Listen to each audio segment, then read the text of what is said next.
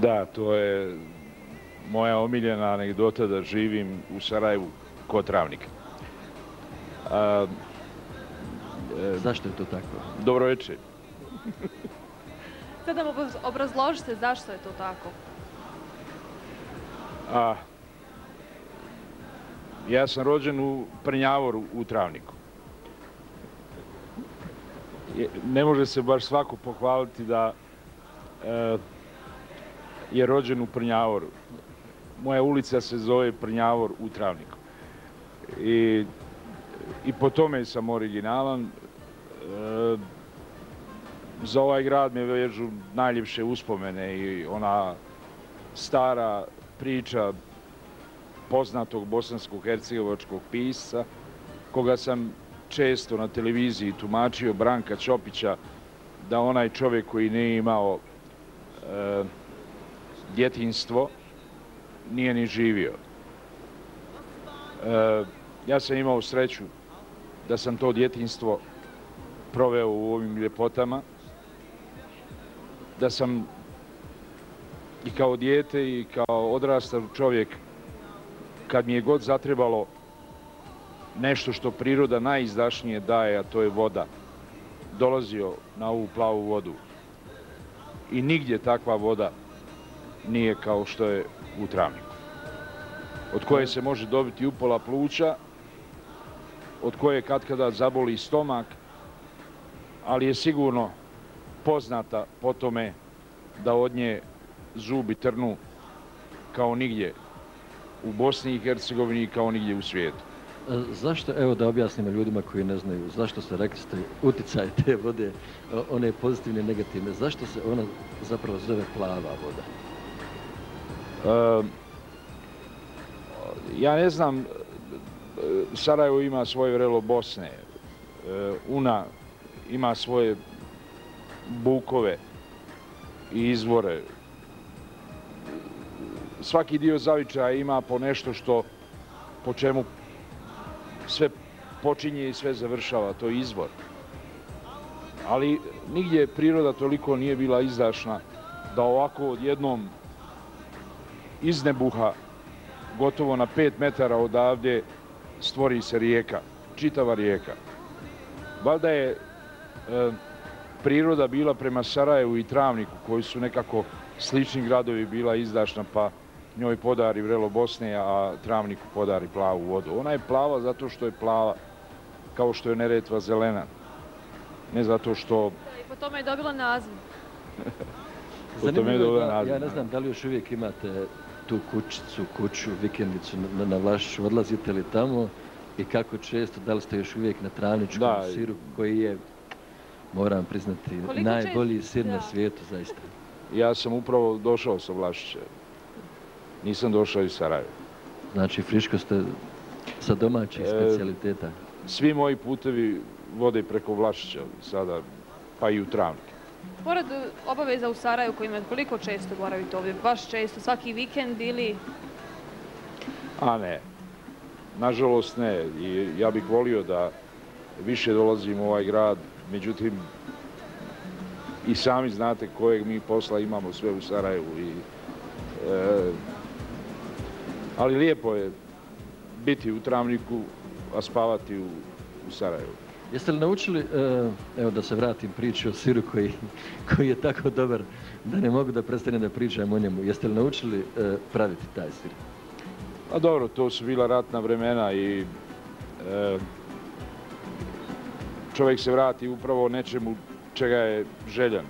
Ja sam, kao i mnogi moji sugrađani tamo, bio željan travničkog sira i moji travničani su dolazili jednom u sedam dana u jedan zatvoreni krug u štabu u kojem sam ja bio neki komadant i onda tu je Emir Hadži Abdić, Seo Hođić e, e, i još neki. E, sjećali smo se travnika i jeli smo travnički sir koji smo napravili od umjetnog mlijeka u Sarajevu. Kako bi vi okarakterisali travničane kao ljude? Kako bi... Okarakterisali travničane kao ljude. Kakvi su oni? Pa evo vidite, e, ovo je grad u kome e, jedino moram biti opušten. Ovdje me svi znaju. Ovdje me znaju da sam imao jedinicu iz matematike. Ovdje me znaju da nisam baš bio najbolji učenik u školi. Ovdje me znaju da sam kad kada E, e, dobijao batine od mnogih i mnogima dao batine, mnogima sam razbio nos.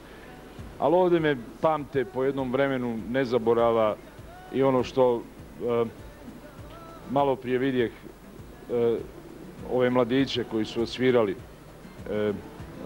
ovu pjesmu od Spencer Davis grupe, ja sam je pjevao.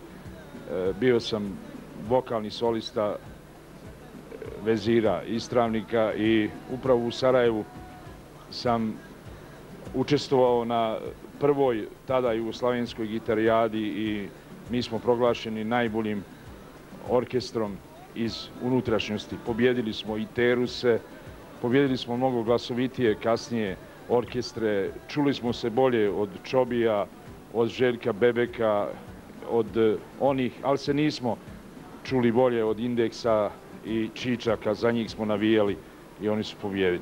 Kažu da zapravo za Sarajevo znam sigurno, Sarajevo ne trpi zvijezde i ne postoji niko toliko velik kome bi ljudi u Sarajevu se poklonili. Sjeti se priče Nobelovca Ive Andrića koji je također rođen ovdje u Travniku po primitku Nobelove nagade 61. Prošao je ulicama Sarajeve, tako je sjedio nekih Sarajlija, rekao mu, halo pisac, džesba, ba, napiši li se šta?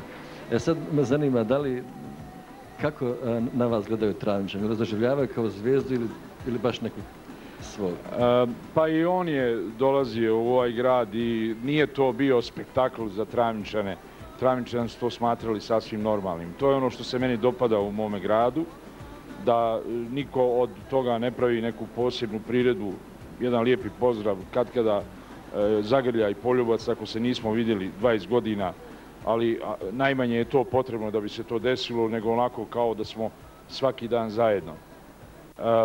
Ivo Andrić je ostavio pečat na ovom gradu, na nama sjedimo konačno e, e, pred Lutvinom Kahovom i e, ja nisam od onih ljudi koji je govorio i tumačio Andrića, ali sam koješta napisao, me inspirisa njegovim velikim dijelom.